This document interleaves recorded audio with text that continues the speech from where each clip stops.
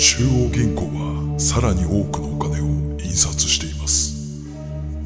銀行はあなたの預金で負の投資をしています。世界は分散化システムを必要としています。ビットコインは分散化した世界の最初のステップです。今ビットコインファイナンスがあなたの貯蓄預金になる。待って。クリプトマニアックに報酬を受け取ろう。